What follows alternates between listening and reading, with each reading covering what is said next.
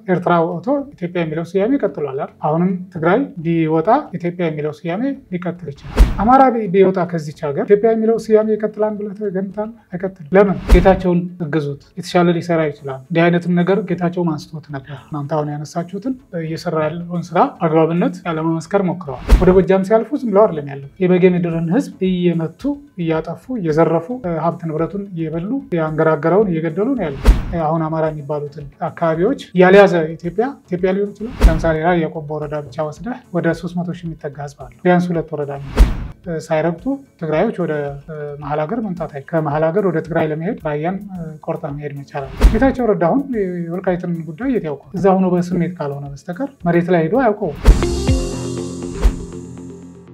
ጠቅላይ ሚኒስትሩ ሊያነሱ የፈለጉት አንድ ጉዳይ ነበር። በተለይ በክልሉ ውስጥ ጦርነት የሚፈልጉ አካላት እንዳሉ አንስተው ነበረ። እንደው በጣም ደግሞ ጎልቶ የወጣው ደግሞ ከንግግራቸው ትግራይ ክልል ከሌለች ኢትዮጵያ የለችም የሚልም ሀሳብ አንስተዋል እና እንደው ይህን ነገር እንዴት ያዩታል ዶክተር? እውነት ነው። አንዱ ትኩረት ሊሰጠው የሚገባ ነጥብን ያነሳው አሸብር እንዳልከው ሁለት መሰረታዊ ነገሮች ናቸው የተነሱት። አንደኛው ነገር ትግራይ ክልል ውስጥ አሁንም ወይም እዚያ ያሉ የቲፒኤልኤፍ ሰዎች አሁንም ጦርነት የሚጎስሙ እንዳሉ ክቡር ጠቅላይ ሚኒስትሩ እንትኑ አላቸው ወይ መረጃው አላቸው ወይ ያነበቡት ነገር አለ። ሁለተኛው ከዚሁ ጋር አያይዝ ታስታውስ ከሆነ ሲያነሱ ጌታቸውን እግዙት፣ የተሻለ ሊሰራ ይችላል። እንዲህ አይነትም ነገር ጌታቸውም አንስቶት ነበር። እናንተ አሁን ያነሳችሁትን በእኛ በጋራ ውይይት ባለፈው ስንገመግም ጌታቸውን አንስቶት ነበር እያሉ የጌታቸውን ሌጂትሜሲ ወይም የጌታቸውን ተገቢነት እየሰራ ያለውን ስራ አግባብነት ያለመመስከር ሞክረዋል። ይልቁንም ትነግ እንቅፋት እየሆነው እንደሆነ አሁንም ትነግ ውስጥ ያሉ ሰዎች ሰላም ስለ ሰላም ሳይሆን ስለ ጦርነት፣ ስለ ዳግም ግጭት እየተዘጋጁ እያሰቡ እንደሆነ የሚያሳብቅ አይነት ነገር እንዳለ መልእክት አስተላልፈዋል። ይህን እኛም ደጋግመን ስንለው ነበር እዚህ በፊት በተለያየ ምክንያት አሁንም ጦርነቱ እንዲቀጥል አራተኛ ዙር ወረራ ለማካሄድ እየተዘጋጁ እንደሆነ በአዋሳኝ አካባቢ በተለይ ራያ ላይ ትንኮሳ ጀምረው ሞክረው ግን ህዝቡ ሆ ብሎ ስለተነሳ ብቻ ያቆሙ መሆኑን ታዝበናል።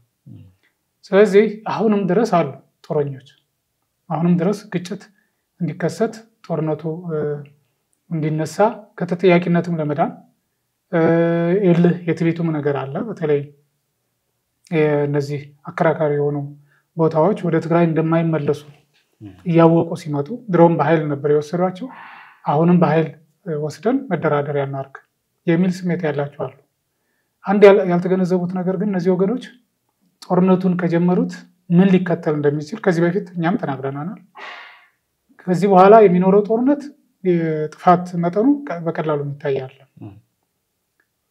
በሁለቱ ምክንያት አንደኛ የፌዴራል መንግስቱ ትዕግስቱ ያልቃል። ሰው አለ የሌለ ኃይሉን ያረባርብና እነዚህን ወገኖች ያስወግዳል። ሁለተኛው የጎረቤት ክልሎችም አማራም አፋርም ከዚህ በላይ ታግሰው የሚኖሩ አይመስለኝም።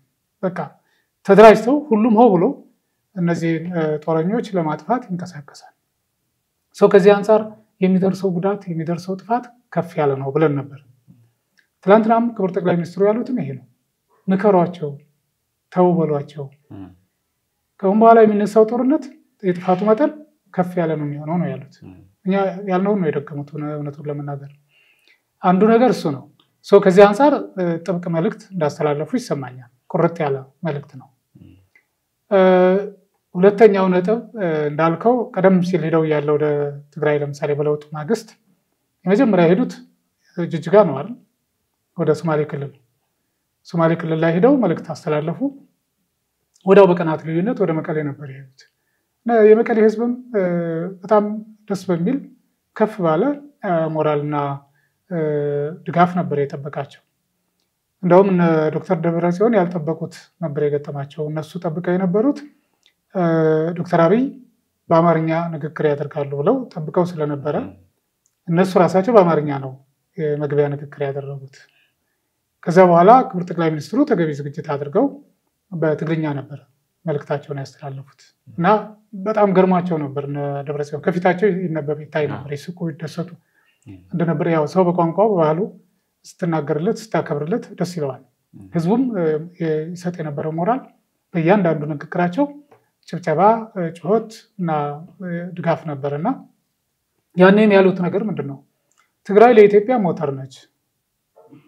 ሰው መኪና ደግሞ ያለ ሞተር ሊንቀሳቀስ አይችልም እና የኢትዮጵያ ታሪክ መሰረት ነው የሚል መልእክት ነበራቸው። አሁንም ይህን ነው የደገሙት። ኢትዮጵያ ያለ ትግራይ ሙሉ አትሆንም ወይም እንደ ሀገር የምታኮራ ብዙ ታሪክ ብዙ መለያ ያላት ብለህ ልትወስድ አችልም። ለምን ብትል አክሱም ያለው ትግራይ ውስጥ ነው። አክሱም ያለው ታሪክ የጋራ ኢትዮጵያ ሁሉም የኢትዮጵያውያን ታሪክ ነው፣ የትግራዮች ብቻ አይደለም። ነገር ግን አክሱም ያለበት ቦታ በትግራይ ክልል ስር ስለሆነ ያለው ትግራይ ክልል ከኢትዮጵያ ቢገነጠል ወይም ቢለይ አክሱምን ይዞ ነው የሚሄደው። ስለዚህ አክሱም ደግሞ ከኢትዮጵያ ታሪክ ጋር የተያያዘ ነው። እንደውም አንድ ተሻለ ጥበቡ የሚባል የታሪክ ምሁር የአክሱም መሰረቶችን ሲገልጽ Trinity of Axum civilization ብሎ በእንግሊዝኛ ይገልጸዋል። በአማርኛው እኔ የተረጎምኩት የአክሱም ስልጣኔ ሶስቱ መሰረቶች ምክንያቱም ሶስቱ ስላሶች አትልም ህዝብን ወይም ሰውን እዚህ ያለን መሬት ላይ ያለን ወገን በእንግሊዝኛው Trinity ነው ያለው። Trinity ወደ አማርኛ ቃል በቃል ሲመለስ ስላሶች ማለት ነው፣ ስላሴዎች እንደማለት ነው። ነገር ግን ትክክለኛውን የሚገልጸው ወደ አማርኛ አዛማጅ ትርጉም ብለህ ወስደህ የአክሱም ስልጣኔ ሶስቱ መሰረቶች አማራ፣ አገውና ትግሬ ነው የሚለው እነዚህ ህዝቦች ናቸው። ቤጃም አለበት በነገራችን ላይ ሰው እሱ ባይገልጸውም የቤጃም ታሪክ እዛ አካባቢ በጣም የቀረበ ነው እና አሁን ግን በዚህ ፌዴራል ስርዓት አደረጃጀት ምክንያት በትግራይ ክልል ስር ስለሆነ ያ ቦታ ወደ ትግራይ ክልል ይቀራል ማለት ወይ ትግራይ ሀገር ሲሆን ወደ ትግራይ ይቀራል። ስለዚህ የኢትዮጵያ ታሪክ የኢትዮጵያ መሰረት ምን ይሆናል ማለት ነው? ወደ ሌላነት ይቀየራል። ስለዚህ ከዚህ አንጻር ነው ክቡር ጠቅላይ ሚኒስትሩ ኢትዮጵያ ማነው ትግራይ የኢትዮጵያ መሰረት ነች። ያለ ትግራይ ኢትዮጵያ ሙሉ ልትሆን አችልም። የተሟላ ሀገር ብለህ ልትወስድ አችልም። ምክንያቱም ታሪኩን ሙሉ ብለህ ስትወስድ ምንድን ነው ከጥንት ያለፉት ሶስት ሺህ ዘመናት ያልተቋረጠ የመንግስት ስርዓት አላት ኢትዮጵያ ስትባል አክሱምን መሰረት አድርግ ነው። ከአክሱም ነው የምትነሳው። አማራ ክልል ከኢትዮጵያ ቢወጣ ብዙ ነገር ያጎላል። ኢትዮጵያ የምትባለው እንደውም ስያሜውንም ራሱ ይዛም ላትቀጥል ትችላለች። ለምሳሌ አሁን ትግራይ ቢወጣ ኢትዮጵያ የሚለውን ስያሜ ይዞ ሊቀጥል ይችላል። ምክንያቱም ኤርትራ ወጥቶ ኢትዮጵያ የሚለው ስያሜ ይቀጥሏል። አሁንም ትግራይ ቢወጣ ኢትዮጵያ የሚለው ስያሜ ሊቀጥል ይችላል። አማራ ቢወጣ ከዚች ሀገር ኢትዮጵያ የሚለው ስያሜ ይቀጥላል ብለህ ትገምታለህ? አይቀጥልም። ለምን? አንደኛ ኢትዮጵያ ብለው ብዙዎቹ የሚያስቡት አማራ ነው። አቢሲኒያ የሚለውን እንትን ይወስዱና በእርግጥ አቢሲኒያ የሚለው ስያሜ ትግራይን፣ ኤርትራን፣ አማራን ያካትታል። ግን ብዙዎቹ ወስደው ከአማራ ጋር ነው ሊያያይዙት የሚሞክሩት። ሁለተኛ እስኪ ኦሮሞ ፖለቲከኞች ናቸው አሁን ኢትዮጵያ ብለው ክልላቸው ወይም አብዛኛው ኦሮሚያ ስለሚሆን ማለት ነው። ኦሮሚያን ራሱን ይችል አሁን ኦሮሚያ ክልል ኢትዮጵያ የሚባል ስያሜ ይኖራል? አይኖረውም። ኦሮሚያ የሚል ሀገር ነው የሚሆነው። የኦሮሚያ ዜጋ ብለህ ነው የምትነሳው። ሌሎችም እንደዛው። ስለዚህ የትግራይ የሚያጎለው ነገር ትልቅ ነው። እንዲሁ ዝም ብሎ በቀላሉ የሚታይ አይደለም። ትንሽ ሊሆን ይችላል የቆዳ ስፋቱ፣ የህዝብ ብዛቱ ቁጥሩም አነስተኛ ሊሆን ይችላል። ከታሪክ አንጻር፣ ከባህል አንጻር፣ ከሃይማኖት አንጻር የነበረው አስተዋጽኦ ከፍ ያለ በጣም ትልቅ ነው። ከሌሎቹ ታላላቅ ከአማራ ከኦሮሚያ ያልተናነሰ ትልቅ ታሪክ የያዘ ለኢትዮጵያ ጌጥ የሆነ ክልል ነው። ትልቁ ችግር ፖለቲከኞቹ ክፉዎች ናቸው። ይሄ ዛሬ የመጣ አይደለም። ቀደም ሲል ጀምሮ ከንጉስ ከሚካኤል ስሁል ከራስ ሚካኤል ስሁል ጀምሮ እንዲህ አይነት ኢትዮጵያን የሚወጋ ኢትዮጵያን የሚያተረማምስ ኢትዮጵያን የሚበታትን አይነት ስራ ሲሰሩ ታያለ። በራስ ሚካኤል ስሁል ጊዜ ዘመነ መሳፍንት የተፈጠረበት ነው። እሱ የእሱ ችግር ነው ወደ ዘመነ መሳፍንት እንድንገባ ያደረገ። አፄ ዮሐንስ የፈጠሩት ነገር አለ። አፄ ቴዎድሮስን ያስገደሉት አፄ ዮሐንስ ናቸው። እንግሊዞችን ወደ መቅደላ ለቀው ማለት ነው። ወሎ ላይ የፈጸሙትን ግፍ ስታይ፣ ራያ ላይ የፈጸሙትን ግፍ ስታይ በአንድ ቀን እኮ ሶስት ሺህ የራያ አካባቢ ተወላጆችን ገለዋል። ራያ ላይ የራያ ውስጥ በርካታ ኦሮሞኛ ተናጋሪ ወይም ኦሮሞዎች ስለነበሩ ጋላ ይጥፋ ዱር ይገፋ ብለው አዋጅ ያስነገሩት እኮ ራያ ውስጥ ነው አፄ ዮሐንስ እና ጎጃምን ያጠፉት አፄ ዮሐንስ ናቸው። ወደ ደርቡሽ መሄድ ሲገባቸው ከኤርትራ ከአስመራ በቀጥታ ወደ ጎጃም ነው የመጡት። ወደ ጎንደር ይቀል ነበር። በሁመራ አድርጎ መተማ ቢካሄድ ጎንደርን ለማዳን ከነበረ ፍላጎት እሱን ማድረግ ይቻል ነበር። ነገር ግን ንጉሥ ተክለ ሃይማኖት ከእኔ ያፈነገጠ ብለው ስላሰቡ የጎጃሙ ንጉሥ ያን ማንበርከክ ይፈልጉ ስለነበረ በተለይ ደግሞ በንጉሥ ተክለ ሃይማኖት እና የሸዋው ንጉሥ ምኒልክ መካከል ስምምነት አለ። እኔን ለማጥቃት እኔን ንጉሠ ነገስትነት ላለመቀበል እያሴሩ ነው የሚል ስጋት ነበራቸው። የመጀመሪያ ያደረጉት ንጉሥ ተክለ ሃይማኖትን ሂደው ጎጃም ወግተው የጎጃምህን ሕዝብ ብዙ አሰቃይተው ብዙ ዘርፎ አሁን ወያኔዎች ሸዋ ድረስ መጥተው እንደፈጸሙት አይነት ተመሳሳይ ነገር ነው ጎጃም ላይ የተፈጸመው።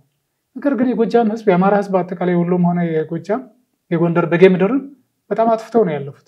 በዛን ጊዜ ወደ ጎጃም ሲያልፉ ዝም ብለው አይደለም ያለፉት። የበጌ ምድርን ሕዝብ እየመቱ እያጠፉ እየዘረፉ ሀብት ንብረቱን እየበሉ የአንገራገረውን እየገደሉ ነው ያለፉት። ስለዚህ ከቀርቷቸው የነበረው ሸዋ ነው። እንግዲህ የትግራይ ፖለቲከኞች ጎንደርን መጥተዋል፣ ጎጃምን መጥተዋል፣ ወሎን መጥተው ነበረ። ሸዋ ነበረ ያኔ በምኒልክ ጥንካሬ ምክንያት አፄ ዮሐንስ ወደ ሸዋ መግባት አልቻሉም። ነገር ግን ከመቶ ሰላሳ ሁለት ዓመት በኋላ የአሁኖቹ ተነጎች ደብረ ብርሃን አምሳ ኪሎ ሜትር ወይ መቶ ኪሎ ሜትር እስኪቀረው ድረስ መጥተው እስከ ማን ነው የሚባለው አካባቢ ደብረ ሲና ጥጉ ላይ ወጥተው ድረስ ያን ህዝብ ገደሉት፣ አሰቃዩ፣ ዘረፉት። የወሎን ህዝብ ድጋሜ አወደሙት። ይሄ ነው ባህሪያቸው። የትግራዮች ፖለቲከኞች የትግራይ ህዝብ ሳይሆን የትግራይ ፖለቲከኞች ትልቁ ችግር ይሄ ነው። ሚካኤል ሶልን እስብ አፄ ዮሐንስ የፈጸሙትን ግፍ እስብ የአሁኖቹ ደግሞ ተነጎች ባለፉት ሰላሳ ሁለት ዓመታት በአማራ ህዝብ ላይ የፈጸሙት በአጠቃላይ በኢትዮጵያ ህዝብ ላይ የፈጸሙትን ግፍና በደል ስታይ በጣም ከባድ ነው። ይሄም ሆኖ ግን በአማራና በትግራይ ህዝብ መካከል መልካም ግንኙነት አለ፣ ቀጥሏል። አሁን ባለፉት ሶስት አራት ዓመታት ትንሽ የመሻከርና ጥርጣሬ ውስጥ የመግባት ነገር ተፈጥሯል። እሱም ቢሆን በቀላሉ የሚመለስ ነው። ፖለቲከኞቹ ግን በጣም ችግር ያለባቸው መሆኑን በታሪክ የምናየው ነገር ነው። ስለዚህ አሁንም የትግራይን ህዝብ ችግር ውስጥ የሚከቱት ፖለቲከኞቹ ናቸው። አሁንም የትግራይ ህዝብ ሰላም እንደሚፈልግም አየ ነው። በተወካዮቹ አማካኝነት ከሁለት መቶ ያላነሰ ቁጥር ነው አለ የመጡት።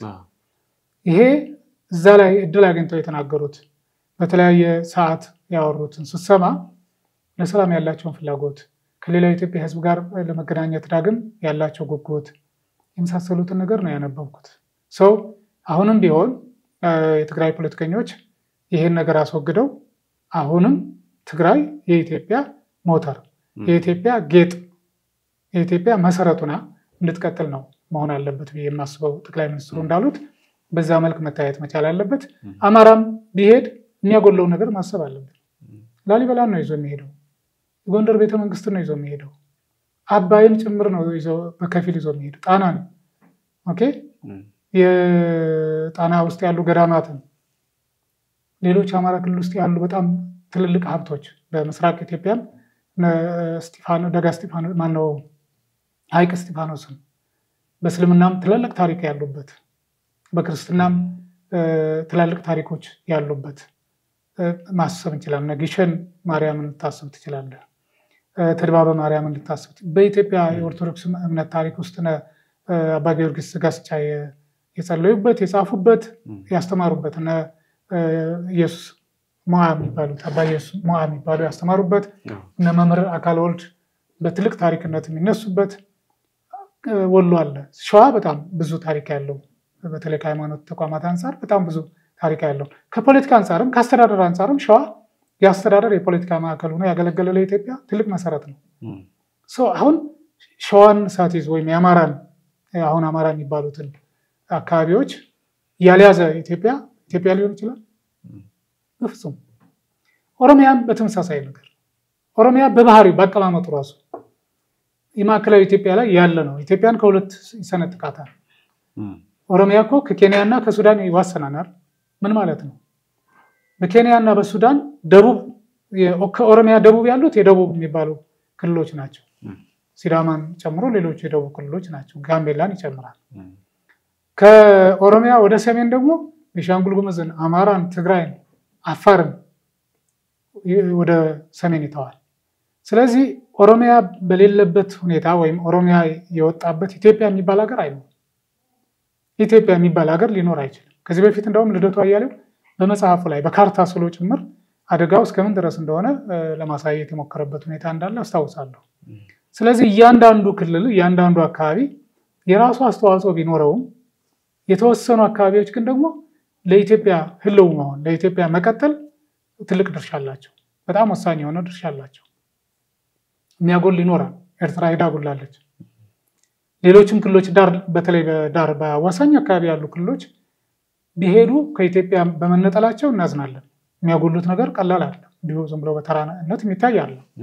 ግን ኢትዮጵያ የሚለውን ስያሜ እና ኢትዮጵያ የሚለውን ካርታ በብዙ መልኩ ይቀይረዋል ተብሎ አይገመትም እና ይህን ግምት ውስጥ ማስገባት በጣም ጠቃሚ ይመስለኛል እና ክቡር ጠቅላይ ሚኒስትሩም የትግራይን ለኢትዮጵያ መሰረትነት ሞተርነት ሲያነሱ እንዲሁ ዝም ብለው በስሜት እነሱን ለማባበል ወይም እነሱን ስሜት ለማሞቅ አይደለም፣ ከልባቸው ይመስለኛል። ከዚህ በፊትም ብለውት ስለሚያውቁ እንደኔ የአክሱምን ታሪክ ስታነሳ የኢትዮጵያ መሰረት ብለህ የኢትዮጵያ ሞተር ብለህ የምታነሳው የአድዋን ገድል ታነሳ እኮ ነው። አድዋ እኮ የቅርብ ጊዜ ታሪካችን ነው። አሁን ሙዚየም አዲስ አበባ ላይ የተሰራለት የምንለው አድዋ ታሪክ የተሰራበት ትግራይ ውስጥ ያለው አድዋ ነው አይደል? የአድዋ ተራሮች ናቸው። እስብ እስኪ ትግራይ አገር ቢሆን እዚህ ያለው የአድዋ መታሰቢያ ሙዚየም ዝም ብሎ የታሪክ ብቻ ነው የሚሆነው። አየህ፣ ህይወት ያለው አይሆንም። በአንድ ወቅት እኮ አድዋ ላይ በተካሄደ ጦርነት የኛ ኢትዮጵያ መሪዎች የኢትዮጵያ ህዝብ ሄዶ ተዋግቶ ጣሊያኖችን አሸንፈዋል። ያሸነፈበት ታሪክ ነው ብለህ ትወስዳለህ። አሁን አድዋን ተራራ ግን ወስጄ ላሳይ ብትልስ፣ okay እዚህ ያለውን መታሰቢያ የድል መታሰቢያ ሙዚየም ያለውን ታሪክ እስኪ ቦታው ጋር እንሄድ ብትል ወደ ትግራይ ክልል ለመግባት ፓስፖርት ያስፈልግሃል። ቪዛ ማስመታት አለብህ። okay ወደ ሌላ ሀገር ሂደ ነው አድዋ ማለት ይሄ ነው የምትለው። በሌላ አባባል አንድ ምሳሌ ላንሳለህ። ኢየሱስ ክርስቶስ የተወለደው በታሪክም በሃይማኖቱ መጽሐፍትም በምንም ዝም ብለህ በተለይኛ ኦርቶዶክስ ኢትዮጵያ ኦርቶዶክስ ተዋሕዶ እምነት ተከታዮች የት ነው ብለን ነው የምናስበው? ኢየሱስ ክርስቶስ የተወለደው ኢየሱስ ክርስቶስ ነው ቤተልሔም ነው። ግን በአጠቃላይ እንደ ሀገር የት ነው ብለን ነው የምናስበው? ኢየሩሳሌም፣ እስራኤል ነው። እስራኤል ነገር እያለ ነው እሱ እንትን የሚለው እስራኤል ውስጥ ያለ ነው ይመስለናል፣ ግን አይደለም። ቤተልሔም ፍልስጤም ውስጥ ነው ያለው። ሰው እስራኤል እንደገባህ በቀጥታ ቤተልሔምን አታገኘው። ኢየሩሳሌም ያስተማረበት የተመላለሰበት እንጂ የተወለደበት አይደለም። ኢቨን ኢየሩሳሌምም ምስራቅ ኢየሩሳሌም የፍልስጤሞች ነው። ምዕራብ ኢየሩሳሌም ነው የእስራኤሎች።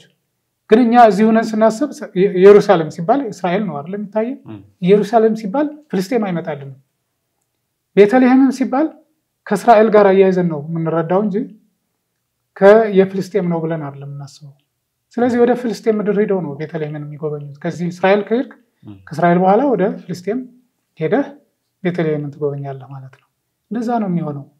አይህ ትግራይ ራሱን የቻለ ሀገር ቢሆን አድዋን የኔ ታሪክ አካል ነው ለማለት አክሱምን የኔ ታሪክ አካል ነው ለማለት አሁን ላይ ያስቸግራል ማለት ነው። ስለ እነዚህ ነገሮች ሁሉ ግምት ውስጥ ገብተው ይመስለኛል። በእርግጠኝነት የትግራይ ሕዝብ ይሄን የፖለቲከኞችን ፍላጎትና ሴራ ይቀበላል ብለን አናስብም። በእርግጥ አንዳንዴ ግፉ ብዙ ነገር ምሬቱ ሲበዛበት የተለያዩ ችግሮች ሲደራረቡ ታዲያ እኔስ ምንድነው የማደርገው የሚል ሊያነሳ ተስፋ ሊቆርጥ ይችላል። የሃይማኖት አባቶች ያደረጉት ነገር እሱን ነው አይደል? የሃይማኖት አባቶች ያው የልሂቃን ሴራ አካል ናቸው። ትነግ ያላቸውን ነው የተገበሩት። ኦሮሚያ ላይ ተሞክሮ አሁን ፌል አድርጓናል ወይም ወድቋል ለጊዜው እንጂ አንድ ወቅት ደግሞ አይነሳም ማለት አይደለም። ስለዚህ እነዚህ ነገሮች ሁሉ ኢትዮጵያን ይፈትኗታል። የኢትዮጵያን መሰረት ለማናጋት የሚደረጉ እንቅስቃሴዎች ናቸው። በእርግጠኝነት ኢትዮጵያ አትፈርስም ይላሉ ጠቅላይ ሚኒስትሩ።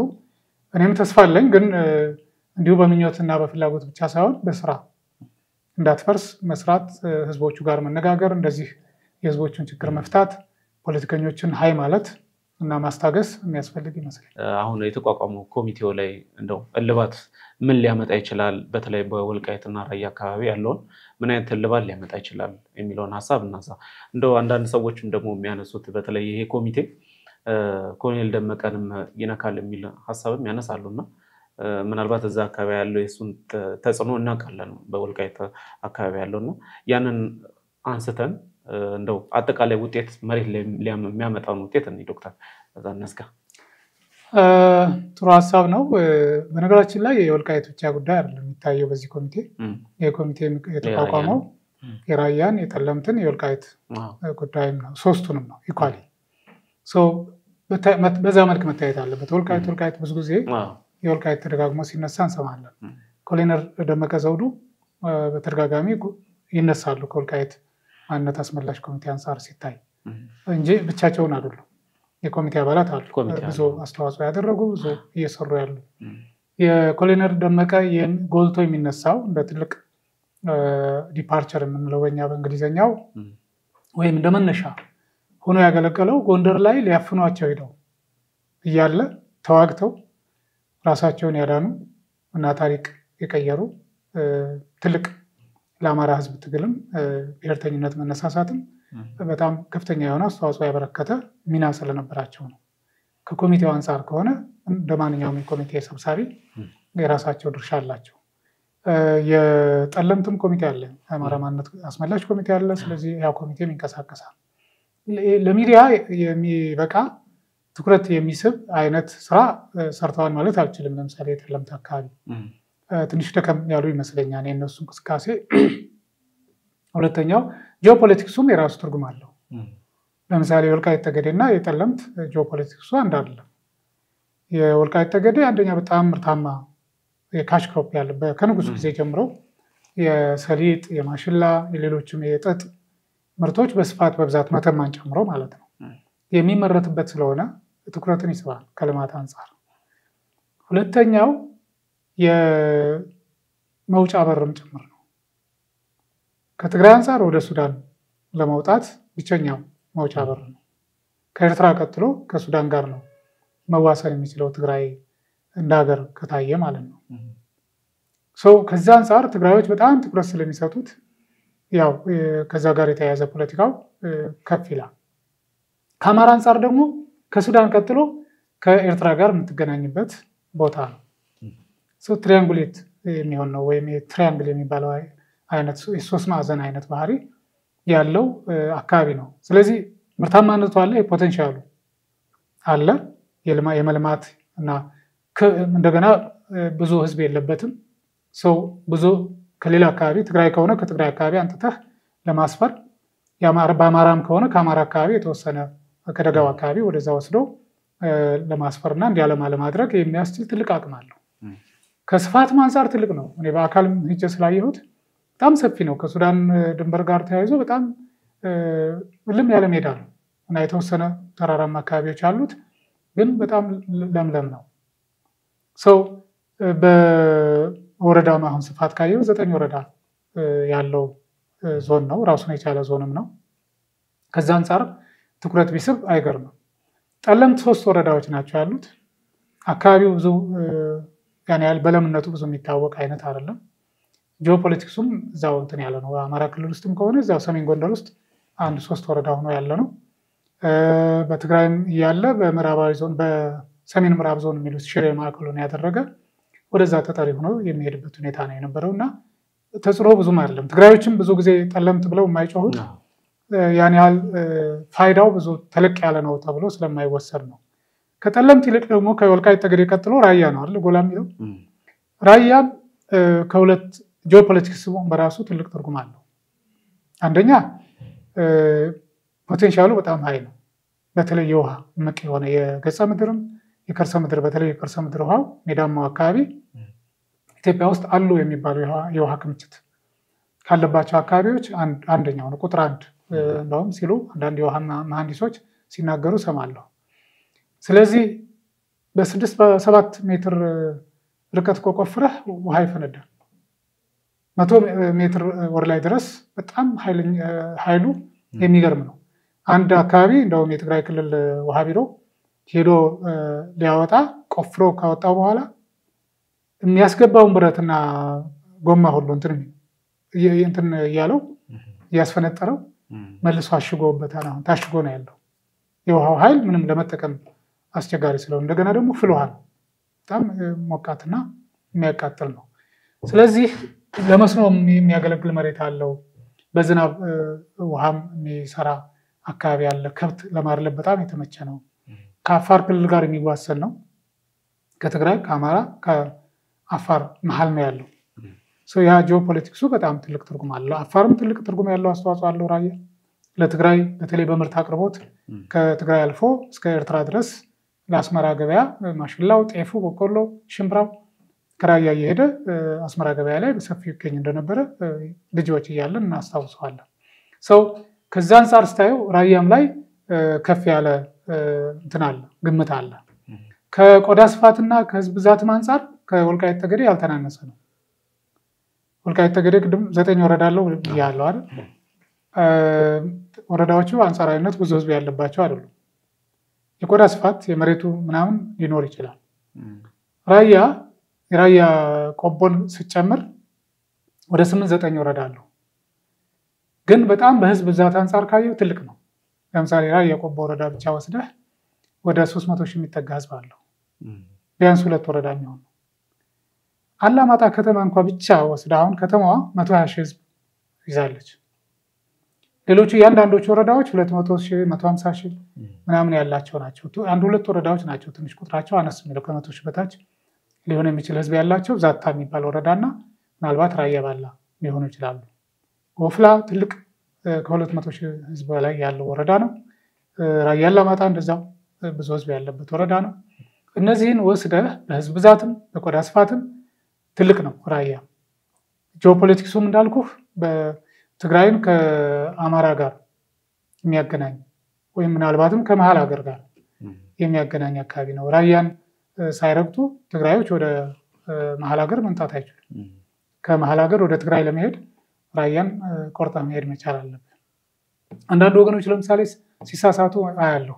በፊትም ከጦርነቱ በፊት መንገድ ተዘጋብን ምናምን እያሉ ሲጮሁ በአፋር ነው የምንሄደው እያሉ ሲጮሁ እንሰማ ነበር የትግራይ ሰዎች። አሁንም እንደሱ ሲሉ ሰማል። አሁን ይሄ ከደብረ ብርሃን ጀምሮ ያለው መንገድ በደሴ ወልዲያ ምናምን አድርጎ የሚሄደው መንገድ በደሴና በደብረ ብርሃን መካከል መንግስት ራሱ ኮማንድ ፖስቱ ስለወሰነ ባለፉት አስራ ምናምን ቀናት ነው ወደ ወር ሊቀርብ ነው ተዘግቶ ነው ያለው። ከደሴ ወልዲያ ድረስ ያለው ደግሞ ያው ፋኖች እና መከላከያ በሚያደርጉት ግጭት አስተማማኝ አለ መንገዱ። ሰው ከዛ ይልቅ በየት ነው የሚሄደው? አሁን በተለይ ባስ የሚጠቀሙ ወገኖች በአዳማ አድርገው አዋሽ አድርገው በጭፍራ ነው ወደ ትግራይ የሚሄዱት። አብዛኛውን በአፋር ብቻ አይደለም፣ ኦሮሚያን ይነካል፣ አፋርን ይነካል። ወደ መውጫ ወደ ትግራይ ክልል መውጫ ላይ ደግሞ አማራን ይነካል። ሁለት አሁን ላይ እንዳውም ሶስት ሆነዋል። ሶስት የአማራ ክልል ወረዳዎችን ይነካሉ። ጉባላፍቶን ይነካ፣ ራያ ቆቦን ይነካ፣ ራያ አላማጣን ይነካ። ሰው ሶስት ወረዳ አልፎ ሲሄድ አማራ መከልከል ቢፈልግ ኖሮ ያኔም ቢሆን አሁንም ጭምር ማለት ነው። እነዚህም ወረዳዎች ላይ እኮ መከልከል ይችል ነበር አለ። መንገዱ በእነዚህ ወረዳዎች ነው የሚሄደው። ሰው በአፋር አድርጎ ሄደ ምናምን ሲባል አማራ ክልልን የማይነካ ይመስለዋል ብዙ ሰው። አይደለም። ኦሮሚያ አፋርን አማራን ነክቶ ነው የሚሄደው። በዛ መልክ መታየት መቻል አለበት እና በሰላም ነው እየሄደ ያለው በዛ አሁንም መንገዱ ጉዞ በአፋር ሄደ የሚባለው ሙሉ በሙሉ በአፋር ከተባለ በሰመር አድርጎ በአፍዴራ ከሄደ ነው። አፍዴራ ከዛ አበዓላ በአበዓላ አድርጎ ወደ መቀሌ የሚወጣ መንገድ አለ። እሱ ግን በጣም ረዥም ነው፣ በጣም ረዥም ነው። ምናልባት ልዩነቱ ሶስት መቶ ወይም ከዛ ኪሎ ሜትር በላይ ሊሆን እንደሚችል መገመት ይቻላል። ምክንያቱም በሎጊያ ሰመራ አድርጎ አፍዴራን አበዓላን አቆራርጦ መቀሌ ሲገባ ከሺህ ኪሎ ሜትር በላይ ነው የሚሄደው። በዚህኛው ሲሄድ ግን ወደ ሰባት መቶ ምናምን ወይም ከዛ ያልበለጠ ኪሎ ሜትር ነው የሚሆነው እና በመካከል ከሶስት መቶ ያላነሰ ኪሎ ሜትር ርዝመት አለ። ይሄ ማለት ከነዳጅ አንጻር ከጊዜ አንጻር የሚያስወጣህ ነገር ከባድ ነው። ከሱ አንጻር መታየት መቻል አለበት። ስለዚህ ይህ ኮሚቴ አሁን የሚኖረው ሚና ምንድን ነው? እነዚህ አከራካሪ የሆኑ ቦታዎች ላይ እንዳልኩ ሶስቱም አካባቢዎች ላይ ተገቢ ትኩረት ሰጥቶ መስራት አለበት። ቅድም ለመጥቀስ እንደሞከርኩት በተወሰነ የመጀመሪያው ሊያደርግ የሚችለው ምንድን ነው? እነዚህ አካባቢዎች አከራካሪ ናቸው። ስለዚህ በአከራካሪነታቸው እንያዝና መፍትሄው ምን ይሁን የሚለው ላይ ነው የሚመክሩት። በተግባር እንዴት እንያዘው፣ ከህገ መንግስት አኳያ እንዴት ነው የምናስተናግደው የሚለውን ማየት ነው። ምክንያቱም ከህገ መንግስት አኳያ እነዚህ የአካባቢ ህዝቦች ጥያቄያቸውን ለትግራይ ክልል ምክር ቤት ከዚህ በፊት አቅርበዋል። ከዛ የትግራይ ክልል መንግስት ምላሽ አልሰጥ ሲል ለፌዴሬሽን ምክር ቤት አቤቱታቸውን አቅርበዋል። አሁን የፌዴሬሽን ምክር ቤት ጉዳዩን አጀንዳ አድርጎ ይዞታል። okay በህዝበ ውሳኔ ችግሩን ለመፍታት ይወስን ይሆናል በቀጣይ። የፌዴራል መንግስቱም ይሄን ነው እያለ ያለው ሰው ከህገ መንግስት አኳያም እንዴት እናስተናግደው፣ በተግባር ደግሞ አሁን እየሆነ ያለውን ነገር እንዴት ችግሩን እየፈታን ወደ ትክክለኛው መፍትሄ እናምራ የሚለው ላይ ይነጋገራሉ ብዬ አስባለሁ። ቅድም እንዳልኩህ እዛ ማዶ እና እዚህ ማዶ ሆኖ የትግራይ ፖለቲከኞችም እነዚህ አካባቢማ ወደ ትግራይ ካልተመለሱ፣ የአማራ ፖለቲከኞችም ነው እነዚህ አካባቢዎችማ ከዚህ በኋላ እጃችን ገብተዋል ለማንም አንሰጥም አሳልፈን የሚል አይነት ንትርክና እንካስላንትያ የትም አያደርስም። ከሁሉ በላይ ማዕከል ማድረግ ያለባቸው የእነዚህ አካባቢ ህዝቦች ፍላጎት ነው። ህዝቦቹ ምን ይላሉ? okay ፖለቲከኞቹ ይሄን እያለ ነው። እዚህ አዲስ አበባ ላይ ቁጭ ብለው ሊፈቱት አይችሉም። ችግሩን ሊረዱትም አይችሉም። አያውቁትማ። ጌታቸው ረዳ አሁን የወልቃይትን ጉዳይ የት ያውቀዋል? እዛ ሆኖ በስሜት ካልሆነ በስተቀር መሬት ላይ ሄዶ አያውቀውም። የራያን ጉዳይ በተወሰነ እንግዲህ የራያ ልጅ ስለሆነ ሊያውቅ ይችላል። እንደዛም ሆኖ ግን የቅርብ እውቀት ላይኖረው ይችላል። አሁን ራያ ሄዶ ለምሳሌ ራያ አካባቢ ያለውን ህዝብ ስሜት ያለመጣ ከተማ ላይ ያለውን ከዛም አልፎ መሆን ያለውን ሌላው ቀርቶ የመሆን አካባቢ አሁን ጥያቄውን እያጎላው ነው። የኮረምን ህዝብ ሂደው ቢያናግሩ አብረው አቶ አረጋ ከበደና አቶ ጌታቸው ረዳ ሂደው የአላማጣን ህዝብ፣ የኮረምን ህዝብ፣ የራያ ባላን ህዝብ ሂደው ቢያናግሩ አብረው የዛን ህዝብ ስሜት ቢያዳምጡ ወደ ትክክለኛው ቀልባቸው መመለስ ይችሉ ነበር። አቶ አረጋም አሁን ቅርብ ጊዜ ወደ ስልጣን የመጡ ስለሆኑ አያውቁትም ይህን አካባቢ ሰው ሂደው የህዝቡን ስሜት ቢረዱ ግን የበለጠ አቋማቸውን እንዲያጠነክሩ ሊያደርጋቸው ይችላል። አለዛ ላላ ቢያደርጉ ከዚህ ህዝብ ጋር ነው ጦርነት የሚገጥሙት። ብቻ አይደለም ከመላው አማራ ህዝብ ጋር ነው። ምክንያቱም ከዚህ በፊት ብአዴን ብዙ ነገር ሰራን የሚለው የአማራ ህዝብ እነዚህን አካባቢ አሳልፎ ስለሰጠ ነው። አሁንም የአማራ አመራር እነዚህን አካባቢዎች አሳልፎ የሚሰጥ ከሆነ በድርድር በንግግር ለሰላም ሲባል እየተባለ ከመላው የአማራ ህዝብ ጋር ነው የሚጋጨው። ይሄ ግምት ውስጥ መግባት ስላለበት አቶ አረጋም ወደ እነዚህን አካባቢዎች ህዝብ ስሜት አመራሩን ሁኔታ ምንድነው የሚመስለው የሚለውን በጋራ ቢሄዱ ወልቃይት ጠገዴ ሁመራ ድረስ ቢሄዱ ምን ይላል ህዝብ? እዛ ያለው አማራ እዛ ያለው ትግሬ ምንድን ነው እያለ ያለው እንዴት ነው አብረው እየኖሩ ያሉት የሚለውን በደንብ ማየት መሬት ላይ የረገጠ እውነትን መፈለግ እድል ይሰጣቸዋል። እውነትን ለማግኘት የሚያስችል ሁኔታ ይፈጠራል። ጠለምትም እንደዚሁ የጠለምት ህዝብ ምንድን ነው እያለ ያለው ጠለምት ላይ እኮ አሁንም ትግሬዎች አሉ። አብዛኛው የአማራ ህዝብ ቢሆንም ያለው ነባሩ ግን ደግሞ የተወሰኑ ናቸው የተፈናቀሉት። ሌላኛው ትግሬዎች አሉ። በተለይ ረዥም ጊዜ ኖሩ ምንም በሰላም ሲኖሩ የነበሩ በፊት ትነግ እያለ በስልጣን ያልተጠቀሙ፣ ያላስገደሉ፣ ያላሳፈኑ፣ የሰው ንብረት ያልዘረፉ፣ ያልወሰዱ እኮ አሉ። ሁመራም እንዳልኩ አሉ፣ ራያም አሉ። የእነዚህ መስተጋብር አሁን ድረስ አብረው እየኖሩ ምንድነው ችግር ያልተፈጠረው? ትግራዮች ችግር ላይ ናቸው ይላሉ። የሌለ በስማ በለው ግን በተግባር ሂደው ቢያዩ የእነዚህን ህዝቦች መስተጋብር አሁንም ድረስ ያለ መደጋገፍ ወደ ትክክለኛ መደምደሚያ ያመጣቸዋል ብዬ አስባለሁ። መጨረሻ ላይ ሁለቱ ክልሎች ተማምነው የፌዴራል መንግስት ተወካዮችም ስላሉ ክቡር አቶ ተመስገን ጥሩነህ ምክትል ጠቅላይ ሚኒስትሩ አሉበት። ከመከላከያም ጀነራል ፊልድ ማርሻል ይመስሉኛል እንዳሁም ብርሃኑ ጁላ በታዛቢነት ወይም አብረው የውይይቱ አካል እንደሆኑ ተገልጿል። ስለዚህ እነዚህም አካላት በየደረጃውም ያሉ የነሱ ሰዎች አሉ። የመከላከያ ለምሳሌ እዛ አካባቢ ያሉ ጀነራሎች አሉ፣ ኮሎኔሎች አሉ፣ በየደረጃው ያሉ እውነታውን አውቀዋል። ወልቃይት ጠገዴ ያሉት ሁመራ አካባቢ ያለው ሰራዊት አመራሮች ያውቁታል፣ ህዝቡ ስሜትና ፍላጎት። ጠለምትም አካባቢ ያሉ የመከላከያ አመራሮች አሉ፣ የፌዴራል ፖሊስ መኮንኖች፣ ኦፊሰሮች አሉ። እነሱንም ሄደው ማነጋገር ምንድነው እስካሁን የታዘባችሁት ያለው ነገር ምንድነው የሚለው ኮሚቴውንም የነ ኮሎኔል ደመቀ ዘውዱ ኮሚቴንም የጠለምትን ኮሚቴ ራያን ኮሚቴ የማንነት አስመላሽ ኮሚቴ አባላትን አመራሮችን የአካባቢ አስተዳደሮችንም ጭምር እንዴት ነው ምንድን ነው እየሆነ ያለው በምን መልክ ነው እየሄዳችሁበት ያለው የሚለውን ማነጋገር ጥያቄያችሁ ምንድን ነው ከህዝቡ ጥያቄ ጋር ይሄዳል ወይስ የእናንተ የጥቂቶች ፍላጎት ነው የሚለውን check ማድረግ ያስፈልጋል እኔ በዛ ብቻ ግን የቆመው ብዬ አላስብም። የተሟላ ግልጽነት እንዲኖር ካስፈለገ ለምሳሌ እዚህ አዲስ አበባ ውስጥ ያሉ የአካባቢ ተወላጆችንም እኮ ጠርቶ ሊያናግሩ ይችላሉ። የራያንም የጠለምትንም የወልቃይት ጠገዴንም በአንድ ላይም ሊሆን ይችላል ወይ በየራሳቸው በርካታ የአካባቢ ተወላጆች እዚህ አሉ። በተለያየ መንግስት ስራ፣ በግል ቢዝነስ፣ በንግድም በመሳሰሉት በርካታ ሰዎች አሉ።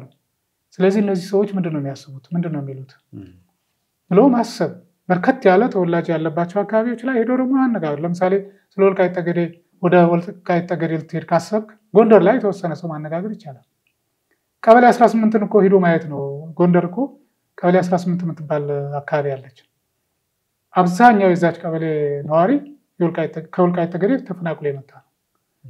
በትህነግ የከፋ አስተዳደር ምክንያት፣ በደልና ግፍ ምክንያት፣ መገፋት ምክንያት መቶ ጎንደር 18 ላይ ሰፍሯል። የራያን ሰው ወልዲያ ላይ ወይም ደሴ ላይ ማነጋገር ይቻላል። በጣም በርካታ ሰው ደሴ ላይ አለ፣ ኮምበልቻ ላይ አለ። እዛ በተለያየ መልኩ ሲገፋ እየመጣ ወደ ደሴ፣ ወደ ኮምበልቻ፣ ወልዲያ ይኖራል። ምክንያቱም የአማራ ክልል በዚህ በኩል ችግር አልነበረበትም አቃፊ ስለሆነ ማለት ነው። የጠለምትና አካባቢም እንደዛው ጎንደርና ደባርቅ ላይ ሄደህ ማግኘት እኮ ነው። ቀላል እኮ ነው። የእውነት ከሆነ ችግሩን ለመፍታት የተዘጋጁት የተስማሙት እነዚህ የጋራ ኮሚቴው አሁን ባልኩ መልኩ ከትግራይም አቅጣጫ እንደዛው ከዚህኛው ብቻ እያልኩ አይደለም። ከትግራይም ለምሳሌ ደቡባዊ ትግራይ የሚሉትን ስለ ራያ እነዚህ ወረዳዎች ማይጨው ላይ ሄደው ማይጨውም ያለውን ሰውና ስሜት ፍላጎት ማነጋገር፣ መሆኒ ላይ ሄደው ማነጋገር ምንድነው እየሆነ ያለው የሚለው? ሽሬ ላይ ሄደው ስለ ጠለምት አካባቢ ያለው ስሜት ፍላጎት የጠለምት ሰው ብዙ ሰው አለው ሽሬ? የራያ ሰው ማይጨው ላይ ብዙ ሰው አለው check ማድረግ እኮ ነው። የወልቃይት ጠገዴ ሰው ሽሬ ያለው በብዛት? ሽራሮ አለው ትግራይ ካሉ ከተሞች ጋር ያለው መስተጋብር ትስስር ምን ይመስላል? የሚለውን መፈተሽ የአማራ ክልል አመራሮች ያኛውንም እንትን እንዲያዩ እንዲያውቁ እንዲሰሙ የትግራይ ክልል አመራሮች ከዚህ ከአማራ አኳያ ያለው ትስስርና ስብጥር ምንድን ነው የሚመስለው የሚለውን እንዲገነዘቡ በዚህ መሀል አብረዋቸው የፌዴራል መንግስት ባለስልጣናት ተገኝተው በጋራ እኩል ስሜቱን እንዲረዱ እንዲያውቁ እንዲገነዘቡ ለውሳኔም እንዲረዳቸው የሚያደርግ ስራ ይሰራሉ የሚል ግምት አለኝ።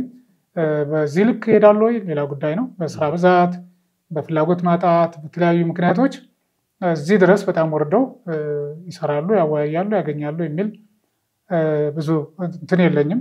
ግን እንደዛ ቢያደርጉት ተገቢ ነው ብዬ አስተያየት እሰጣለሁ። I think የፌዴራል መንግስትም አሁን የያዘው አቋም ተገቢ ነው።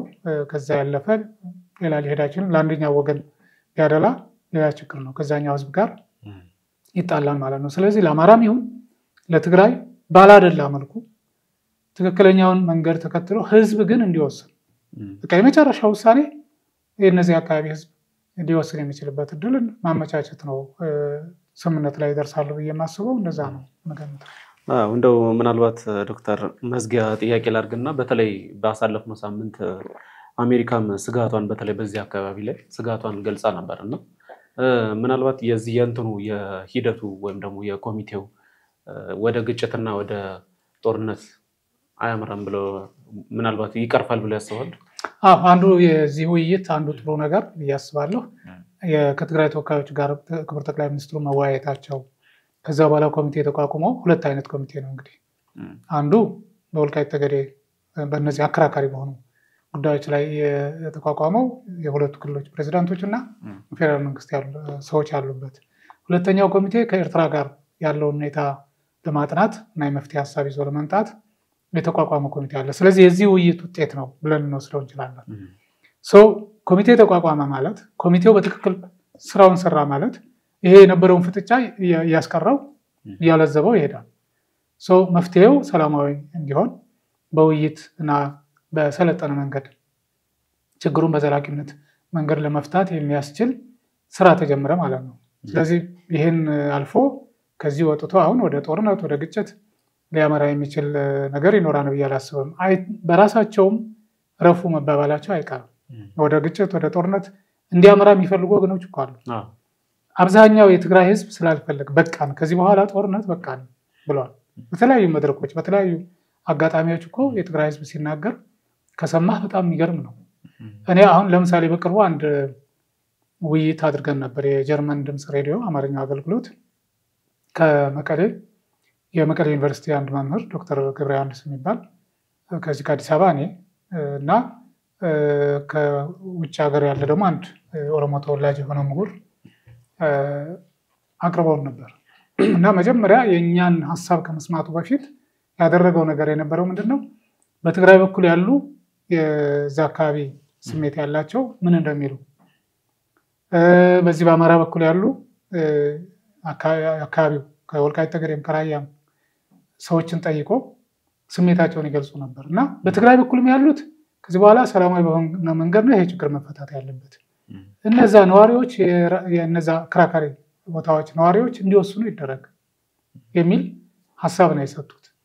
በዚህ በአማራ በኩልም የነበሩት እኛ የራሳችን ድል በራሳችን እንድንወስድ በህዝበ ውሳኔ ችግራችንን እንድንፈታ ነው መንግስት ይሄን እንዲያደርግልን ነው የምንፈልገው የሚል ማብራሪያ ነበር የሰጡት። ከሱ ላይ ተመስርተን ነበር እኛ ሙያዊ ገለጻና ማብራሪያ የቀጠልንበት እና በጣም ደስ የሚል ነበረ። ያን እውነት መቀበል ያስፈልጋል። አሁን ህዝቡ ረፉ እያላቸው እንደሆነ አውቃለሁ። ከትህነግ አባላትም ከትህነግ አመራሮችም አብዛኛው I think አሁን ጦርነት የሚፈልግ አይመስለኝም። ለምን ብትል ጦርነት አሁን ቢቀሰቀስ መጀመሪያ የሚጠፋው ራሱ ነው። ለራሱ ሲል ልክ ፕሬቶሪያ ድረስ ሂዶ እንደተስማማው ሁሉ ራሱን ለማትረፍ ትህነግ እንደ ድርጅት በህይወት እንዲቆይ ለማድረግ ያን እድል ሰጥቶታናል። ይህን እድል ሁለተኛ ማጣት የሚፈልግ አይመስለኝም። ስለዚህ እርስ በርሳቸውም ተወቃቅሰው ተመካክረው ወደ ጦርነት እንዳይገባ እና በሰላማዊ መንገድ ችግሩ እንዲፈታ በሰጥተው መቀበል መርህ ዘላቂ መፍትሄ እንዲመጣ ያደርጋሉ የሚል ተስፋ አለ። የፌዴራል መንግስትም ይሄን ጠበቅ አድርጎ ጠንከር አድርጎ ይገፋበታል የሚል እምነት ነው ያለኝ። መልካም ዶክተር፣ እንግዲህ አዳዲስ ጉዳዮች እነዚህ ናቸው። ምናልባት በዚህ ጉዳይ ላይ የተለያዩ ሀሳቦች እንዲሁም እርምጃዎች ከፊታችን ሊመጡ ይችላሉ እና እኛም ተከታትለን እንግዲህ ለተመልካቾች እናቀርባለን። እንግዲህ ሀገር ሰላም እንድትሆን ነው ዋናው የፕሮግራማችንም ሀሳብም አላማውም እና እንግዲህ ለሀገራችን ሰላም እንዲሆን እየተመኘን ለዛሬ እንግዲህ አብረን ስለነበሩ ለሰጡን ማብራሪያ እጅግ አድርጌ አመሰግናለሁ። አመሰግናለሁ። ውድ ተመልካቾቻችን የዛሬው ፕሮግራማችን ይህንን ይመስላል። አብራችሁን ስለነበራችሁ እጅግ አድርገን እናመሰግናለን። ይህንን ሀሳብ ላልደረሳቸው ሰዎች ወይም ደግሞ ለቤተሰብ share በማድረግ እንዲሁም ደግሞ like በማድረግ አብራችሁን እንድትሆኑ እየጋበዝን በቀጣይ ጊዜ በሌሎች ፕሮግራሞች እስከምንገናኝ ድረስ መልካም ጊዜ ይሆንላችሁ።